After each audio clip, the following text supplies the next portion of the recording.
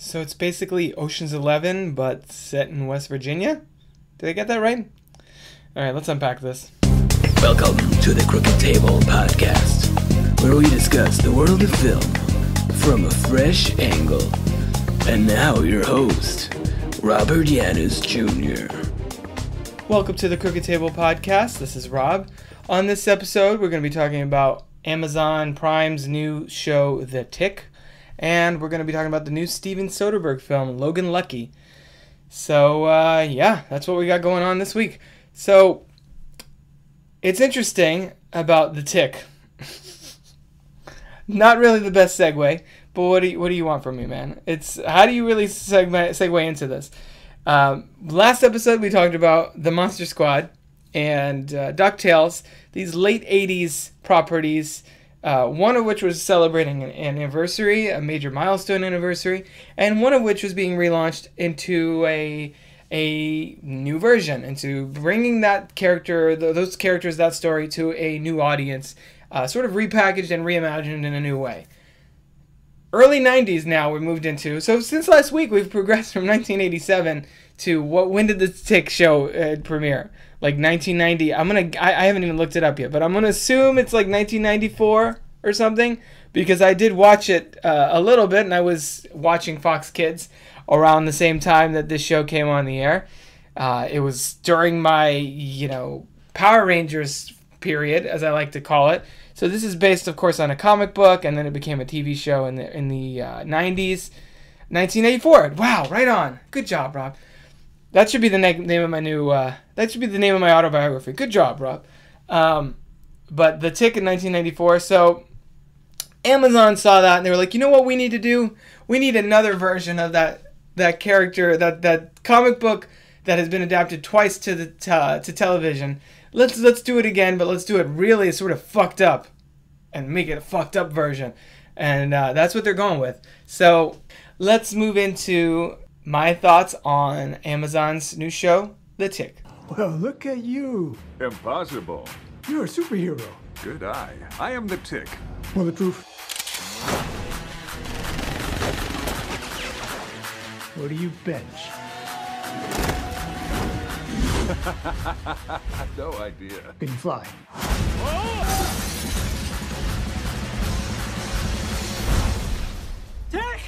Good grief.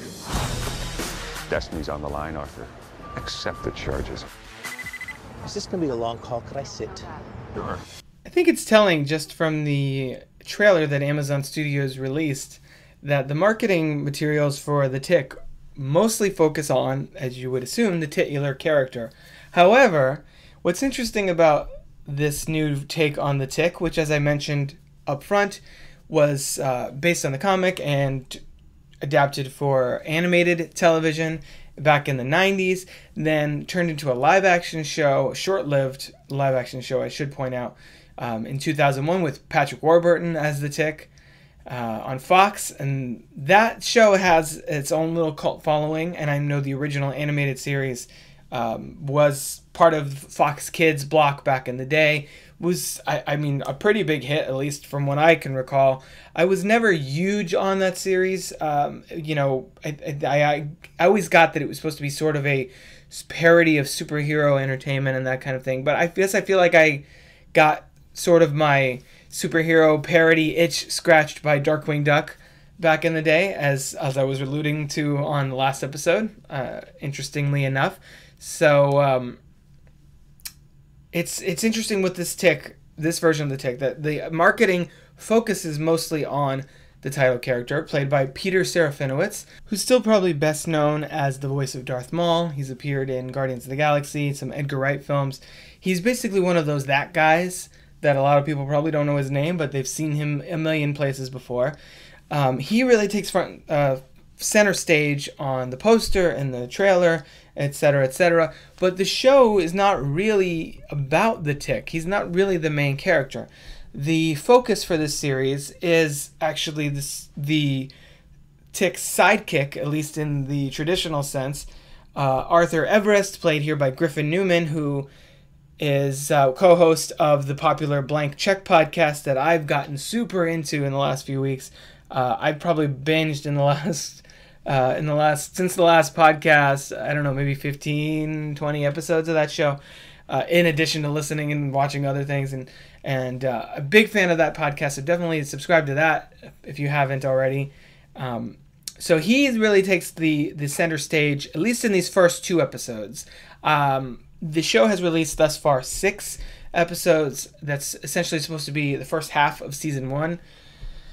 And I've watched the first two thus far, so this review, my thoughts on, uh, is based just on those first two episodes. But Arthur is basically uh, witnessed his family or witnessed his father get murdered by a supervillain as a kid. This is not huge spoilers because this is all in the first, probably half of the first episode.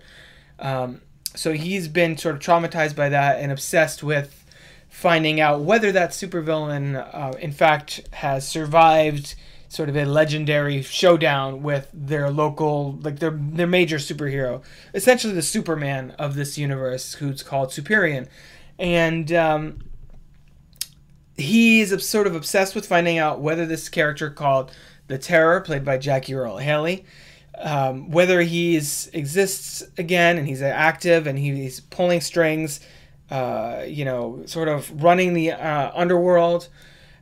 And uh, along the way, you know, he's he's been taking medication and he's got a severe case of PTSD. So this show purports itself to be a superhero adventure, and it is very much that, but it's not the place that it starts at. And I feel like a lot of people that that just pop this on based on the trailer are going to be expecting expecting something much lighter and um, you know much much more in line with the previous two incarnations of the show. But this one actually takes a, a darker a darker take on the tick and his mythology. And considering that the show is created by ben edlund who is the creator of the comic books being unfamiliar with the comic book source material myself i can only assume that this is closer in line with his vision. That uh, much like characters like the mask um, the Tick's mythos and the, the exact tone that Edlund was going for probably got diluted in uh, in the animated Fox Kids show and the you know the live action series and his various versions. And this is him sort of bringing his a truer version of these characters to life. So it starts off and we're following arthur and he's you know, um, investigating this uh, this criminal organization and trying to find out if the terror is behind it. And the tick just randomly starts popping up. Um, he's essentially essentially invincible. Bullets bounce right off of him, and of course, he's wearing that ridiculous blue suit with the little antennae that you know seem to have uh, a mind of their own. Shows up in the city to help sort of um, aid Arthur out of uh, seemingly out of the blue. So a big crux of these first, at least these first couple episodes, are finding out, you know, whether or not the tick is real, and uh, you know exactly what his origins are. I will say that you know the actors here all give it their all. I think uh, Serafinowicz, who comes off a little bit oddballish in his performance, but intentionally so. I think in this in this show the tick is supposed to be an outsider. He's supposed to be going for a tone that makes him feel larger than life, that makes him feel out of place, that, uh, you know, so that his personality and his sort of clear cut moral black and white way of looking at things feels uh, jarring because the rest of the show is sh- covered in so many shades of gray uh, we, I mean, Arthur is really struggling to kind of keep it together and get his life on track. And you have his sister in there, and and uh, Yara Martinez is Miss Lint, sort of a lead, lead another lead villainess, I guess, um, potentially working with the Terror or not. I won't get into any of that. Uh, the show kind of takes its time easing into the more ludicrous elements of uh, the larger Tick mythos, aside from the terror's backstory with that and uh, and the Tick himself. So I think the, show has an interesting an interesting tone that it's going for. And uh, when I say darker, the show is uh, violent. The show has you know language. There are f bombs and that kind of thing. This is this is a this is not the kind of show I would put on for your children. Um, so it's interesting in that it seems like Edlund and the creative team here are targeting that older audience that uh, that you know may have read the comic books or may have watched the other shows, and like everything else, this is the dark and gritty reboot. Um, but whether or not that is the case, whether or not this is just like darkening a light character or portraying the darker version that this character was always meant to be, I think um, remains to you know that that's a question that I can't answer since I'm not really familiar with the source material. But the the series does nail this precise sort of uh, balance that it's going for. I can't say whether or not I love the show because, like I said, it's really hard. I said this last week with DuckTales. It's really hard to base your overall feelings on a series just on the first episode or two. Um, I think the direction here by Wally Pfister, who's uh, traditionally a cinematographer, who's shot the film Transcendence, but don't hold that against him. I think uh, I think the filmmaking here is really solid. I think the writing is is intriguing. Um, depending on how you know where it all leads, I guess is is sort of um, up in the air. But there's a much darker subtext here involving obsession, involving uh, you know a, a very murky moral sense that I think the the tick sort of comes in as basically the superego of of the uh, grander scope of the story.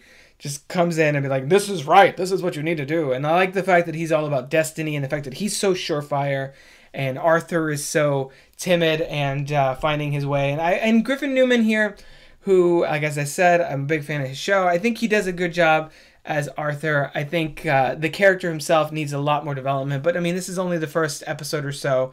Um, right now he's just in basically reluctant reluctant hero slash obsessed um, PTSD survivor mode. And I have a feeling that there are many more layers to that character that we have yet to explore on the show. And, um, you know, I look forward to probably checking out the rest of this first half of the season at some point. But um, yeah, that's the tick. I think a lot of you out there that are interested in superheroes and, you know, following the whole Marvel DC thing on the big screen or on the small screen or on any screen because at this point comic book stuff is everywhere. So it makes sense that Amazon would get a piece of that. I think you will probably find a lot to enjoy in the show. Just don't expect sort of an action extravaganza. There are action sequences, but um, since the tick is basically invulnerable, it isn't. It, it doesn't. They're not as elaborate as you might think. It's basically people shooting him and him throwing them across the way uh, because he does have super strength and the like. So uh, that's the tick. It's available on Amazon Prime. Um, let me know what you think about it. I'm curious to hear. I feel like reactions to this one are going to be pretty polarizing.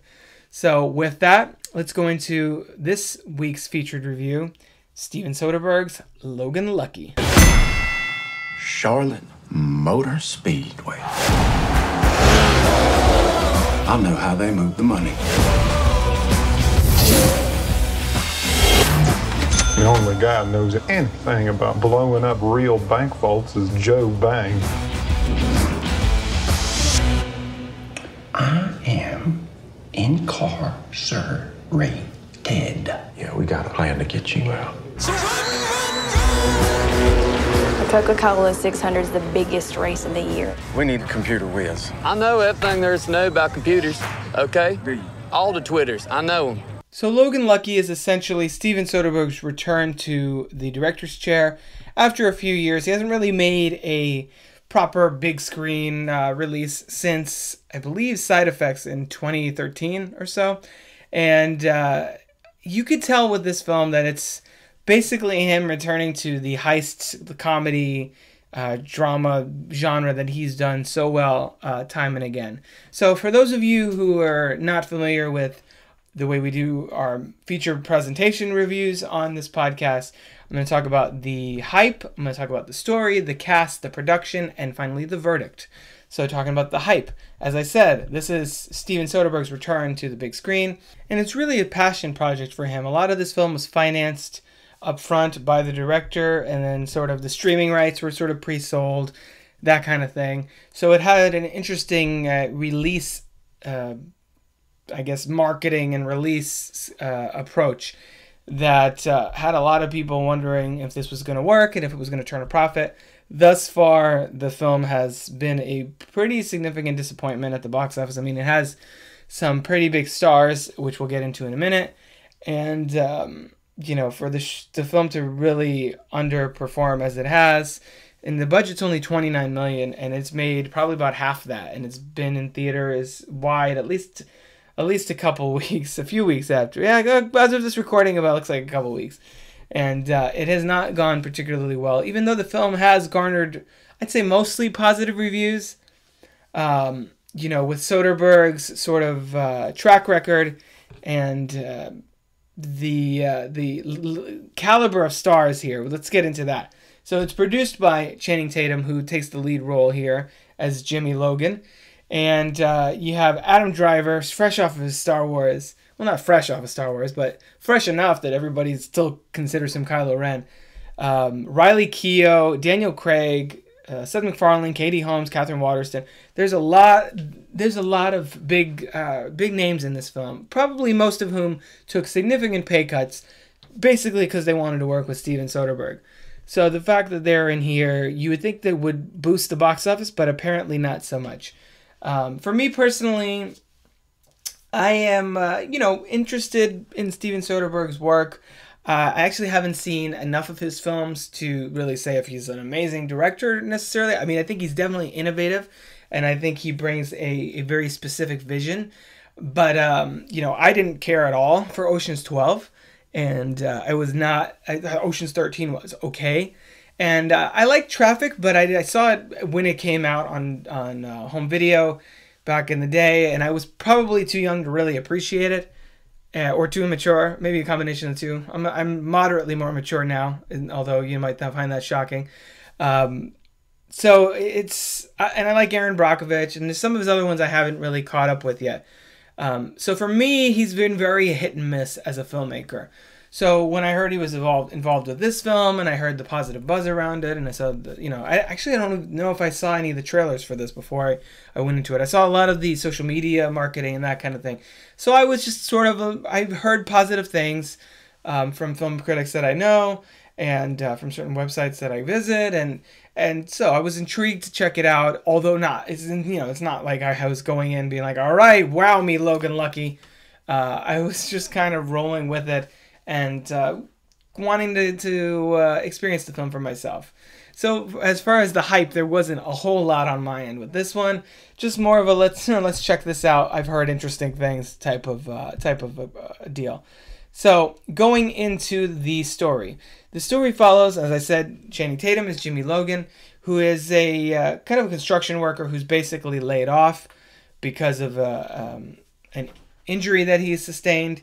Um, basically, he walks the whole film with a limp, and in order to sort of get back on his feet, and get his life together, he's got an ex-wife played by Katie Holmes, and is trying to uh, you know keep uh, stay close to his daughter, who is looks like is about to move with her mom and stepdad. Um, he recruits his brother Adam Driver.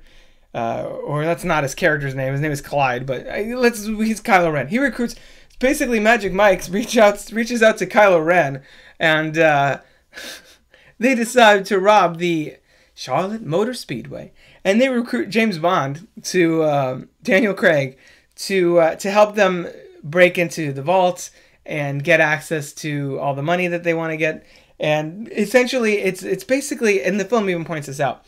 It's basically it's basically Ocean Seven Eleven as the film references uh, itself at some point.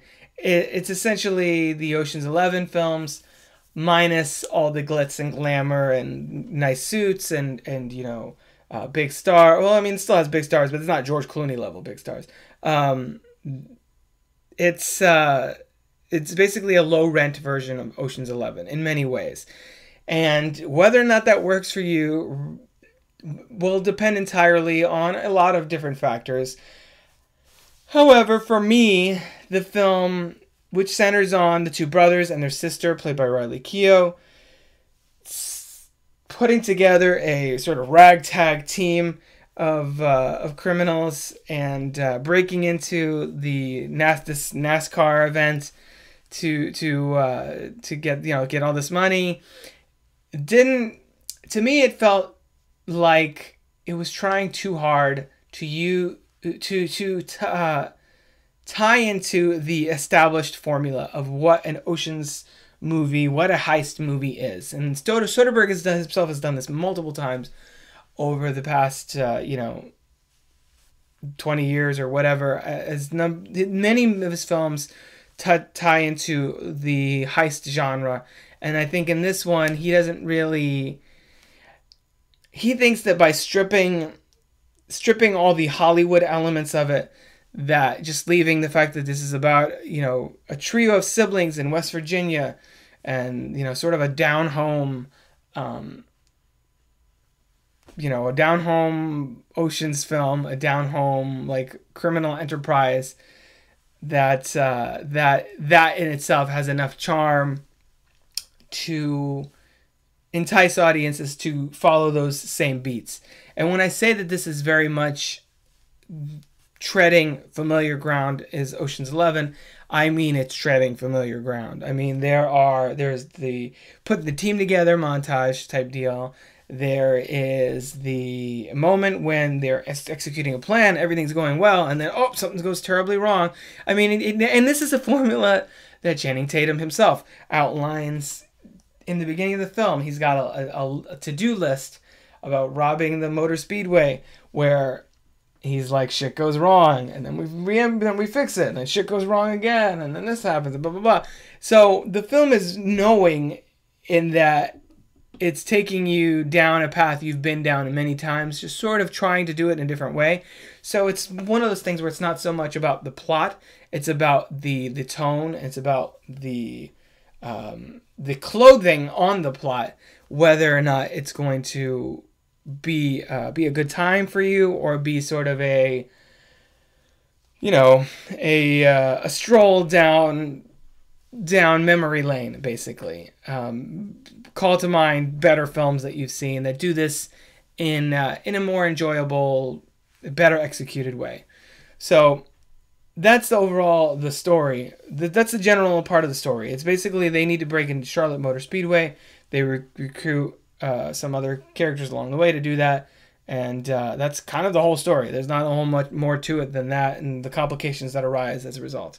As far as the cast, I think Channing Tatum is really uh, decent here. I don't think he really blows anything away. I think this is pretty much in his wheelhouse to play the strong, silent type, who um, is basically the uh, the catalyst to get this plan in motion.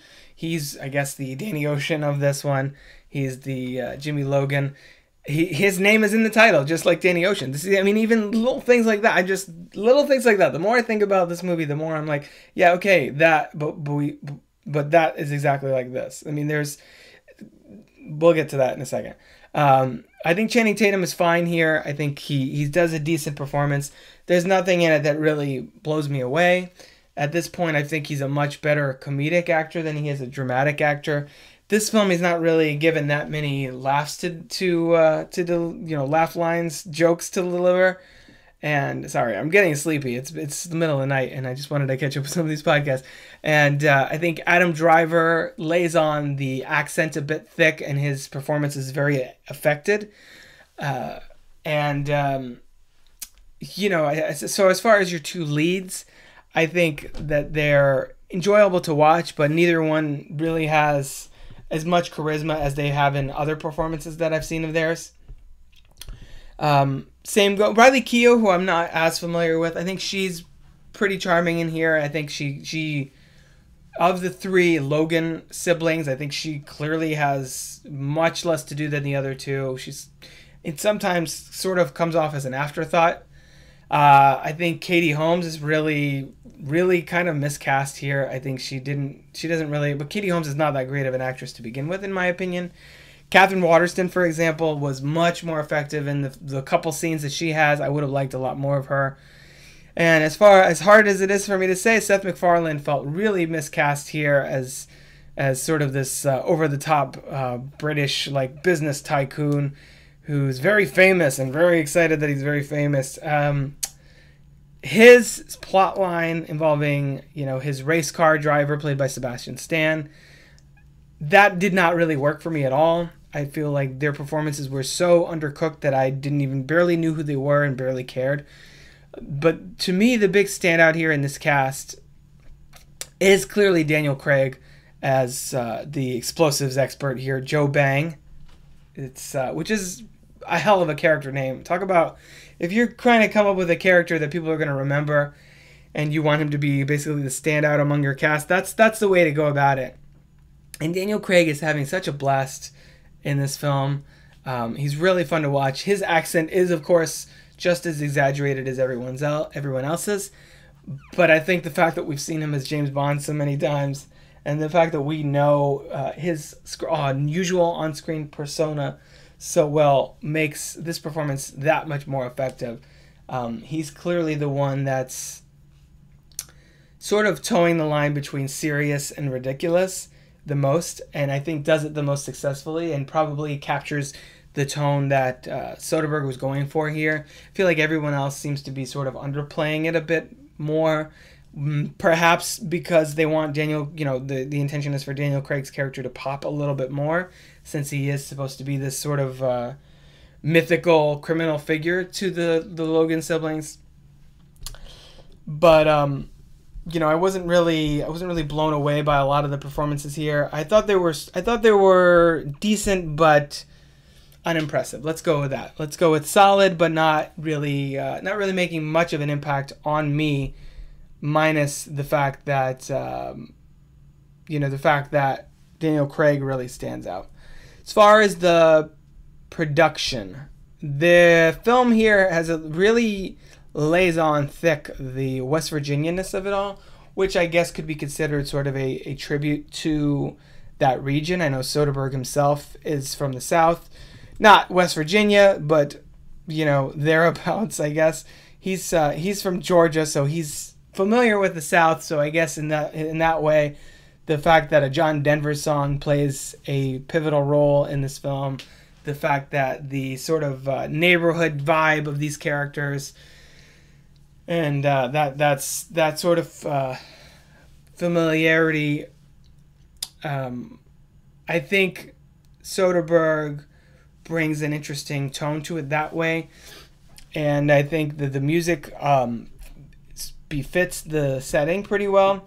As far as the cinematography and all of that, I think Logan Lucky is uh, is pretty is pretty well done from a filmmaking standpoint. I mean, this is Soderbergh has done probably I think at this point dozens of movies, and he knows what he's doing. He knows the story he wants to tell. The question here is, is this a story that works for a specific viewer?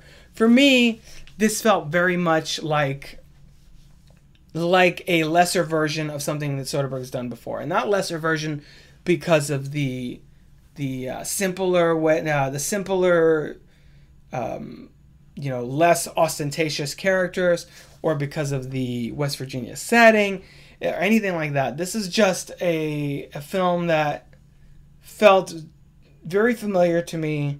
The performances were not particularly uh, particularly incredible that they really um, you know compensate for that. The laughs were there, but very sporadic. I think that the film thinks it's a lot funnier than it actually is. And I think that it tries to juggle too many balls, giggity, uh, at once. I feel like we're supposed to care about Jimmy and his and his you know his situation with his job, and he's got this feeling, these feelings for this nurse or this doctor or whatever. Um, and then you know his the one armed bartender played by oh I didn't even mention that. So uh, Adam Driver's character has has a prosthetic arm or prosthetic hand, I guess. Uh, he's a he's uh, a war veteran, and they uh, they use that to its full extent, as far as you know the the comedy is concerned. Um, which in a way is sort of I you could kind of see it as disrespectful to actual um, amputees who have who have prosthetic limbs. That this film, one of the biggest running gags is is his prosthetic arm and how that plays into the the um, the heist. Um, I forget my train of thought now, but uh, the the laughs were were very sporadic for me. The the multiple storylines with the different characters. Riley Keough, like I said, barely has anything to do.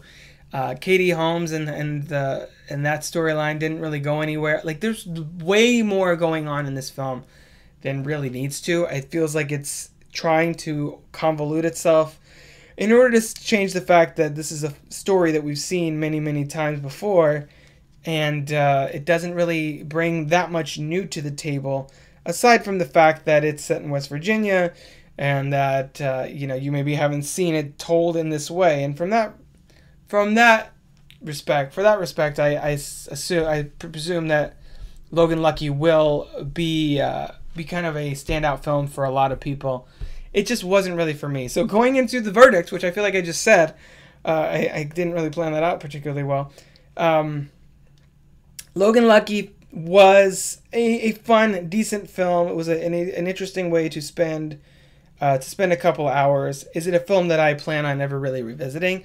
Um, probably no, probably not at all. It's um, it didn't just didn't bring it just wasn't just aside from the novelty of its southern setting and the way in that it kind of strips the heist comedy genre of its normal trappings and tries to deliver them in a in a uh, unexpected way. There wasn't a lot here for me to want to revisit. the The heist is not particularly uh, groundbreaking in any way or um, memorable. And like I said, the elements of the story here, the beat for beat, formulaic storytelling in some ways that uh, Soderbergh relies on. I mean, there's the there's the big reveal at one point as far as how the heist was really planned and how it really went down. And there's the sort of quasi cliffhanger ending, um, much like Ocean's Eleven, that uh, that leaves audiences basically scratching their head and be like, "Well, fuck, where does that leave them now?" Um, it, it just there it had a very been there done that feel to it. Aside from, I guess, like I said, the setting and I, I hate to keep harping on that, but the film really keeps harping on that. That's sort of the whole point is that Soderbergh was got this script apparently, and it's written by uh, Rebecca Blunt, which a lot of people are speculating whether or not that's a pseudonym for Soderbergh, his wife, or a friend of his, or something. So we don't know exactly uh, the story behind that. But um, as far as it's credited to Rebecca Blunt, but uh, you know, other than Soderbergh being like, you know what we should do, Ocean's Eleven, but in the South, and and that basically feels like the the pitch meeting to this production house, and um, and for me, not enough to to really warrant repeat viewings. Uh, it's fine that it exists. It's just not really a film that 100% worked for for this moviegoer. So that's my thoughts on Logan Lucky. Uh, it's now playing. If you're gonna want to see it, you should probably go see it now while it's still there because it's not doing particularly well, as I mentioned earlier. Um, but uh, definitely check that out and let me know what you think. That's all I have for now. You can rate and review the Crooked Table podcast on iTunes if you'd be so kind. We're also on Stitcher. You can find me, Robert Yaniz Jr., on Twitter at Crooked Table. We're also on Facebook and the other social medias. You could find more podcast reviews, videos, and other movie related goodies at crookedtable.com. Next episode, I'm not 100% sure what I'm going to talk about. I have a couple ideas, and I do want to get Freddie in here to talk the Defenders with me, uh, probably within the next episode or two. But uh, I don't want to commit to next episode. It's going to be this because I'm not sure what uh, what order we're going to be releasing them in. So until then, I've been Rob. We'll catch you around the table next week. Roll credits.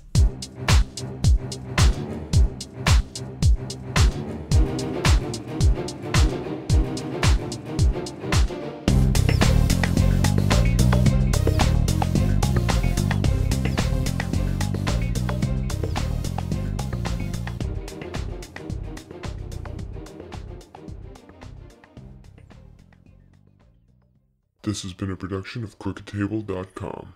All rights reserved. C R O O K E D.